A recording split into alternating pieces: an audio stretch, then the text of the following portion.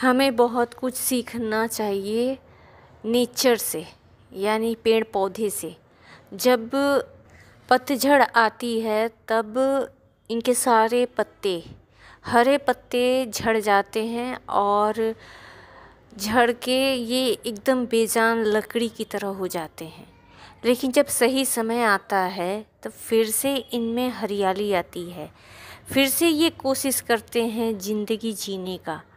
और जीने का मतलब फिर से हरियाली आती है, हरी पत्तियाँ आती है, फूल आते हैं, फल आते हैं।